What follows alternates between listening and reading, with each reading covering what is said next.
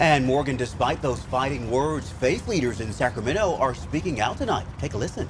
This group of people are some of the strongest people, not just that I've ever met, but that I've ever even heard legend of. I mean, these aren't stories from old that have been embellished over time. These are stories in the here and now. Lawmakers and community leaders trying to help tonight after 36 migrants arrived here in Sacramento.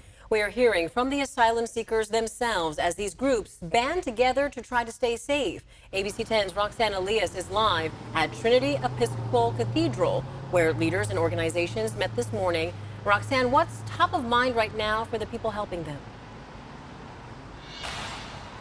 Well, Laura, behind these closed doors here, the priority is the well being of these migrants who have had to go through some of the worst experiences on their journey here to the U.S. For the first time through an audio recording, we're hearing the voice of one of the migrants dropped off in Sacramento.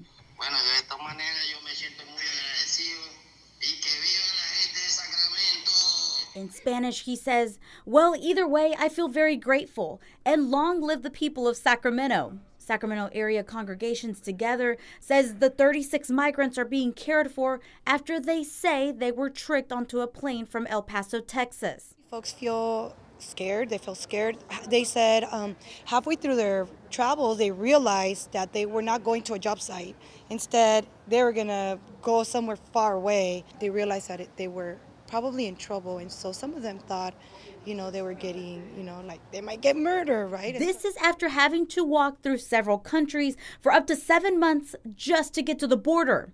Faith based organizations now providing food, shelter, and clothes to the group of men and women in their 20s and 30s.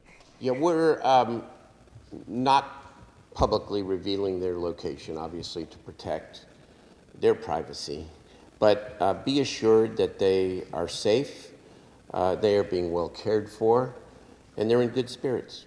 All of them are here legally and have paperwork to move forward with immigration and stay in the U.S. Four of the asylum seekers have already been united with their families. The rest are being empowered to take over their own lives. Sure, we are collaborating with the city and county and different nonprofit agencies and partner groups and churches throughout the area. I know, for example, to, um, we've had a nurse on site um, that the county um, had sent. We have the Fuel Network attorneys coming, I believe, today or another day this week. Faith leaders say they're ready to contribute to the community and are already asking for a job. And ultimately, like my own father, he came here first. He worked, saved money. His first job was at McDonald's. It's just a different generation. It's from a different part of the world, but it's the same impetus.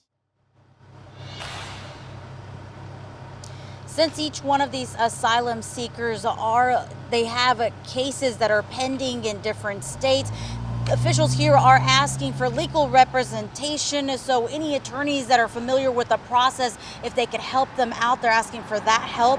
They're also asking for monetary donations so that these migrants can buy the things that, that they need and that they want, whether that be food or clothing. Chris, Laura.